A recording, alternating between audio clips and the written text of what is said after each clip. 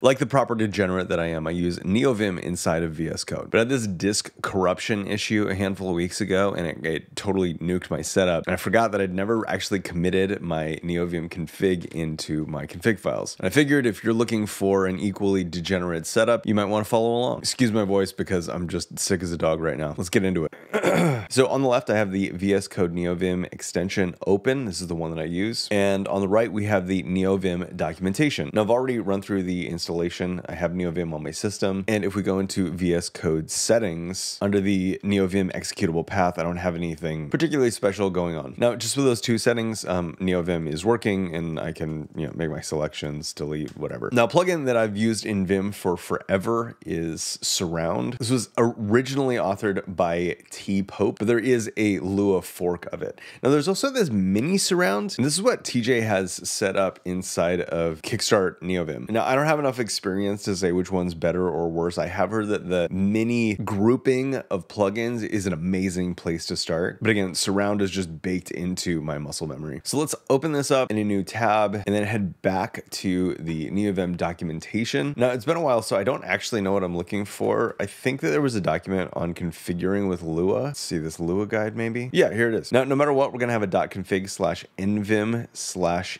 init. I'll probably use Lua. So let's make that file, nvim init.lua. So the next thing I know I want to do is install some plugins and I'm going to go to kickstart.nvim for some inspiration, opening the init.lua and look for manager. Yes. So this is the code to initialize the package manager, uh, which I'm going to just copy and paste into my init Lua. And there should also be a setup, I believe. Yes. So we have a uh, require lazy and then uh, install all of these.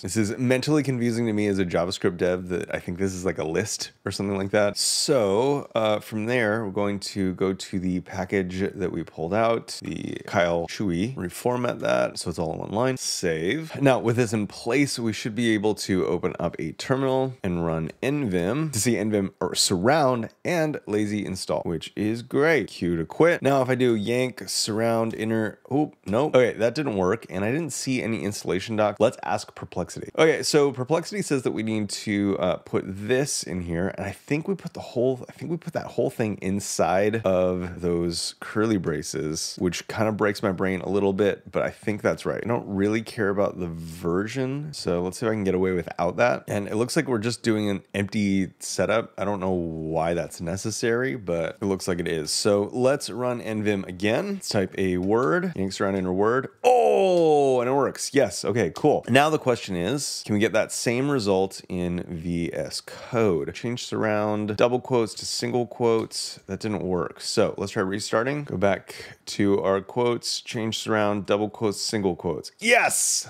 All right, so we got the config we need. There's one last thing that I remember that I had that I'd like to install again. Uh, is there a block condition that would allow me to run one group of plugins only in VS Code and another in terminal NeoVim? And yes, I think this is what I had before. We assign this condition to a variable, and we can then use that condition to exclude things uh, if we don't want them in VS Code. Things that wouldn't make sense inside of a VS Code editor like Telescope or possibly something like LazyGit. Okay, so I have my VS Code NeoVim set setup back in order. I will definitely remember to commit it this time. I guess that's it. It's time for me to blow my nose again and take another nap probably. See ya.